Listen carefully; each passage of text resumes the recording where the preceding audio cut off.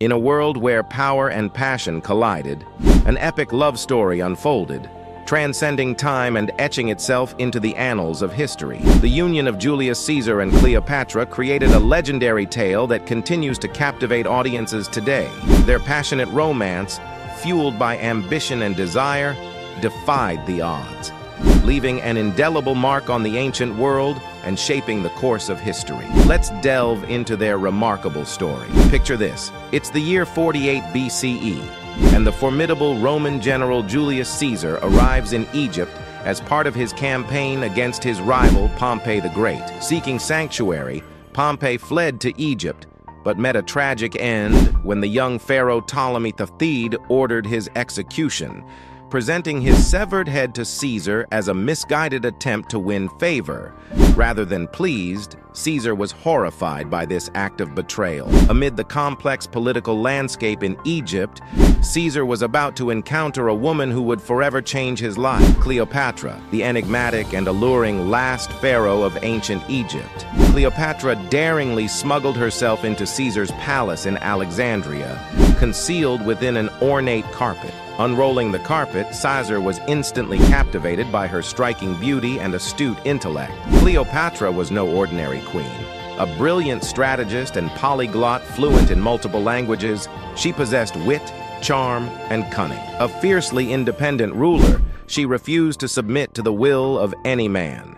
However, Julius Caesar was no ordinary man either. As an accomplished conqueror and charismatic leader, he had triumphed in numerous battles, accumulating immense wealth and influence throughout the Roman Empire. Despite their considerable age difference, Caesar was 52 while Cleopatra was only 22. They found themselves irresistibly drawn to each other. Their mutual attraction grew stronger as they spent more time together, sharing their cultural backgrounds, perspectives, and a hunger for politics and power. Love was inevitable. Caesar assisted Cleopatra in reclaiming her throne after she was deposed by her own brother, Ptolemy the Menthern. Together, they waged a civil war that culminated in the Battle of the Nile in 47 BCE, resulting in Cleopatra's reinstatement as ruler. During their time together, they conceived a son named Caesarion. Their passionate liaison scandalized the ancient world.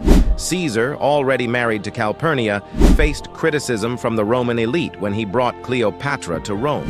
Undeterred, he continued to support her, even declaring Caesarion as his heir, further igniting controversy and inflaming tensions in Rome. However, their fabled love story would meet a tragic end. In 44 BCE, Caesar was assassinated by his own senators, leaving Cleopatra devastated and vulnerable. Seeking to secure her position and her son's future, she formed an alliance with Mark Antony, another influential Roman general and a staunch supporter of Caesar. Unfortunately, their alliance proved short-lived, and in 31 BCE, they suffered a crushing defeat at the Battle of Actium against Caesar's adopted son and successor, Octavian. Faced with defeat and capture, Cleopatra and Mark Antony chose to take their own lives. Cleopatra, in a final act of defiance, is believed to have committed suicide by inducing the bite of an asp, while Mark Antony fell on his own sword. Caesarion, their son, was captured and executed on Octavian's orders. Despite the tumultuous and ultimately tragic nature of their relationship,